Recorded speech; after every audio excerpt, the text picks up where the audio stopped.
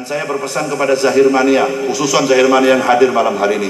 Nyun tolong, kalau jenengan cinta kepada Az-Zahir, jenengan cinta kepada saya, jenengan menganggap saya guru jenengan, jangan bikin malu Az-Zahir. Jangan jenengan permalukan Az-Zahir gara-gara kelakuanmu dewi. Banyak di mana-mana orang tua pada laporan kepada saya, Beb, putra kulo, putri kulo niku derek jenengan remen Masya Allah kulo ibu bunga, Beb. Cuman saya naik sholat subuh jam 8.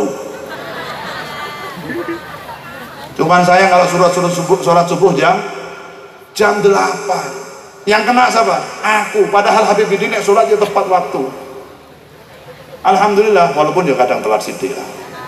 Ya kadang sholatnya setengah enam isu. Manusia biasa. Tapi ini keseringan bendino lah itu masalah. Itu kan sekali. Kok sholatnya jam 8 itu konti. Melo azahir bang begitu. Oh. Berarti Habib Bidin ngajari gue sholat subuh jam 8. Yang kena siapa? Azahir lagi yang kena.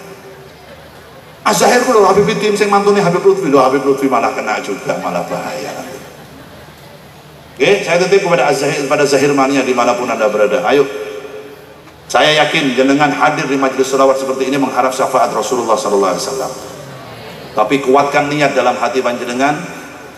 Saya ahli salawat, saya ikut Az-Zahir Mania, saya ikut pengajiannya Habib Lutfi, saya ikut pengajiannya para ulama, tapi saya tetap akan menjalankan sholat tepat pada waktunya.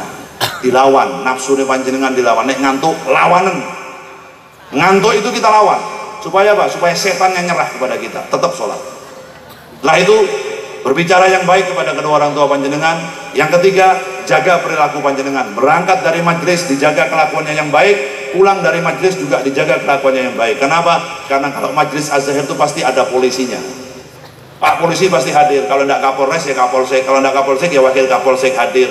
Jangan sampai pulang dari majelis ini malah orang yang gue helm. Begitu tangkap polisi, ono operasi, kau yang gue helm nanti. Azahir pak, azahir, azahir, APBT.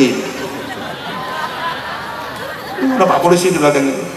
Kalau jenengan cinta Rasulullah juga cinta kepada negaranya. Orang yang cinta kepada negaranya akan menjalankan aturan ada yang ada di dalam negaranya itu. Ikuti. Helm itu untuk keselamatan panjenengan. Supaya yang pakai helm selamat. SIM-nya juga dibikin. Orang duit SIM kono guys SIM. STN-nya diurus. Ojo nganggo motor bodong wae. Motor ora ono suratnya dituku. Jangan, itu bukan pecinta Rasulullah. Cinta Rasulullah adalah orang yang mengikuti aturan negaranya. Sallu ala Nabi Muhammad.